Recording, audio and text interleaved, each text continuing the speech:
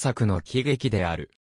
出版は1602年だが、書かれたのは1597年より前だと考えられている。太っちょ騎士フォルスタッフが主人公で、フォルスタッフはすでにヘンリー4世第1部とヘンリー4世第2部に登場している。タイトルに含まれているウィンザーはイングランド、バークシャーにあるウィンザー城への言及である。ヘンリー4世の治世の頃を扱っているはずであるが、一切辻褄合わせなどはせずに、同時代のエリザベス朝イングランドの中流階級の生活を扱っており、シェイクスピアとしては唯一の現代劇である。ベルディ、ファルスタッフ、オットー・ニコライ、ウィンザーの陽気な女房たちなど、たびたびオペラ化されている。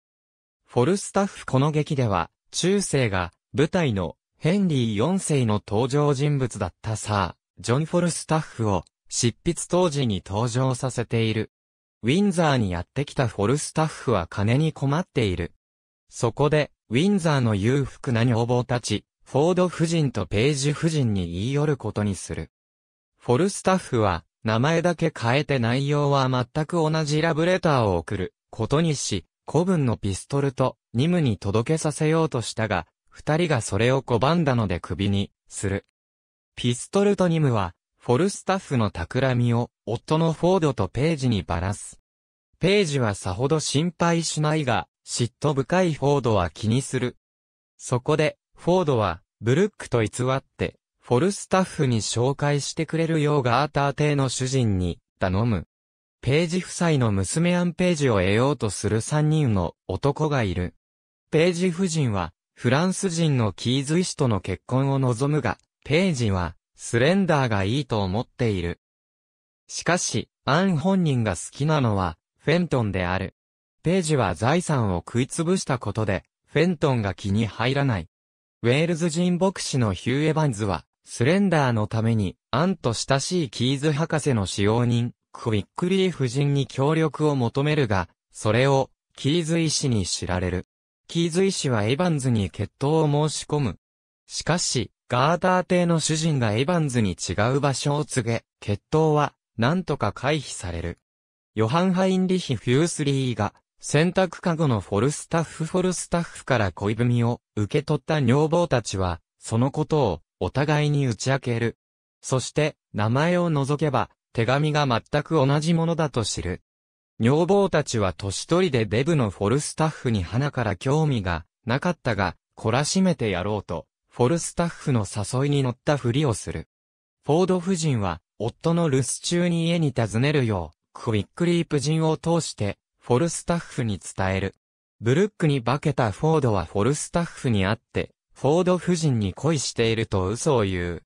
そして、自分と、フォード夫人を取り持ってくれるよう、大金を渡して、フォルスタッフに頼む。女房の浮気を立証するためである。フォルスタッフは、フォード夫人から誘われていることを、ブルックフォードに打ち明ける。フォルスタッフは、フォード夫人に会いに行く。フォード夫人はフォルスタッフを、汚れ物の入った洗濯かごの中に隠し、使用人たちにかごを川に捨てる、よう命令する。そこに、フォードが帰ってくるが、フォードはフォルスタッフを見つけられなくて、悔しがる。しかし、それにも懲りず、フォルスタッフは再度フォード夫人に会いに行く。そこに、またフォードが来て、フォード夫人は今度はフォルスタッフを太った女性に変装させて逃がす。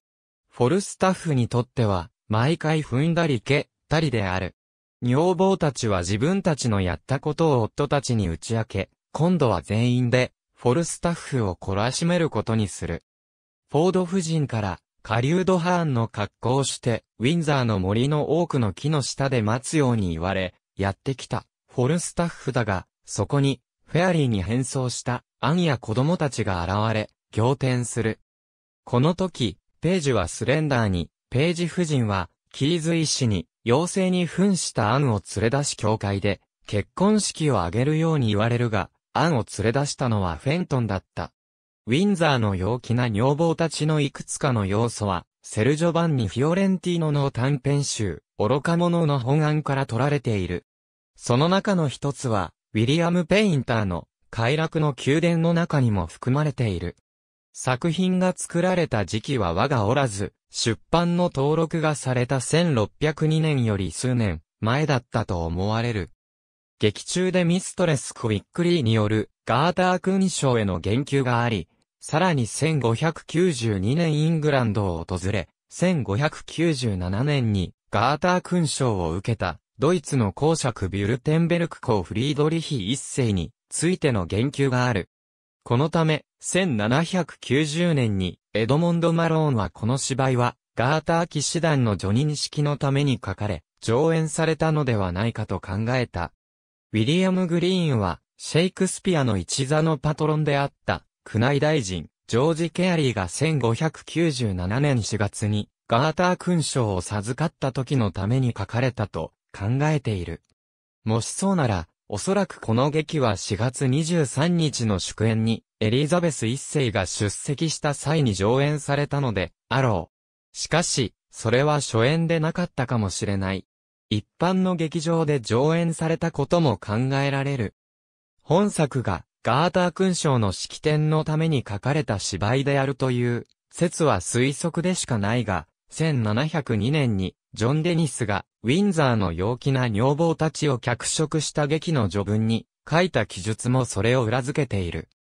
さらに最初の現代版、シェイクスピア全集を編集したニコラス・ローによると、ヘンリー4世2部作を見て、恋するフォルスタッフを見たいと願ったエリザベス1世の依頼で、シェイクスピアがこの劇を書いたことになっている。しかし、これは100年後の記述なので疑わしくもある。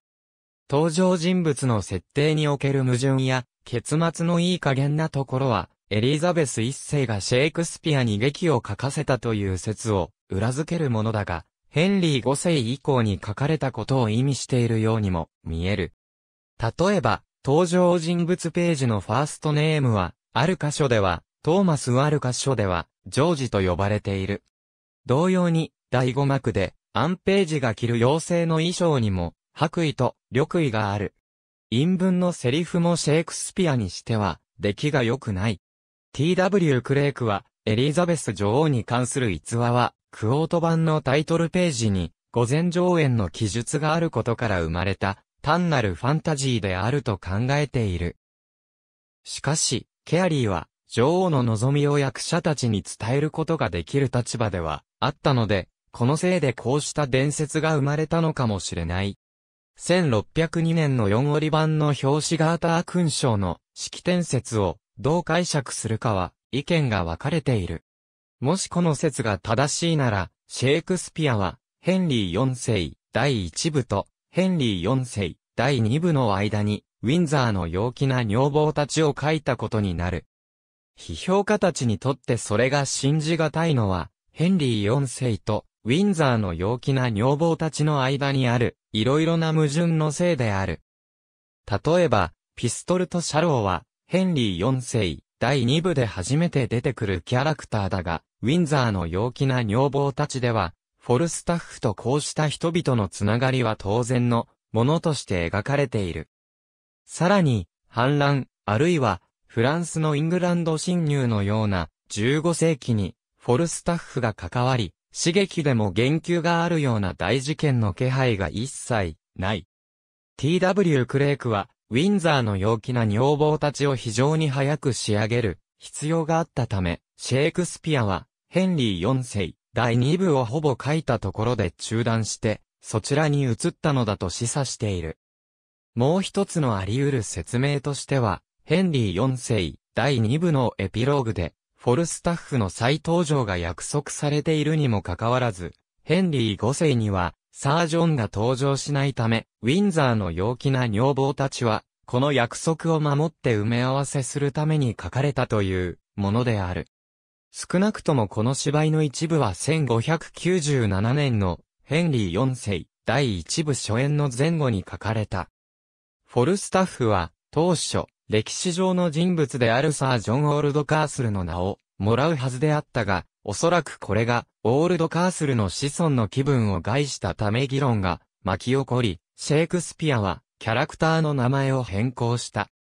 第5幕第5話85から90行目や、第4幕第5話6行目あたりに、おそらく、オールドカースルという名前を想定して書かれたと思われる形跡があるからである。1602年1月18日は、ウィンザーの陽気な女房たちが、書籍出版業組合の記録に登録された日付で、その後、書籍商、アーサー・ジョンソンによって、粗悪なテキストの最初の4折版が出版された。第2の4折版は1619年に、ウィリアム・ジャガードによって、フォールスフォリオに収められた。より良いテクストである、ファーストフォリオが出版されたのは1623年のことである。91の表紙には、この劇が、女王陛下の御前で、それ以外の場所で、宮内大臣一座によって演じられたと書かれてある。はっきりわかっているうちで最も早い公演は1604年11月4日のホワイトホール宮殿である。他にも、1638年11月15日にコックピット座で上演された。1902年、ハーバート・ビアボーム・トゥリーが、フォルスタッフ、エレン・テリーが、ページ夫人、マッジ・ケンダルが、フォード夫人を演じた、菜園の絵、ウィンザーの陽気な女房たちは、シェイクスピアの作品の中でも出来が良くない作品の一つで、この作品のフォルスタッフは、ヘンリー4世のフォルスタッフより劣っている、と考える、批評家が多い。フォルスタッフはシェイクスピアが生み出した中でも最も生き生きとした登場人物であるにもかかわらず、劇作がうまくいかなかったというのは不可解であり、これをどうしたら十分説明できるかについては議論がある。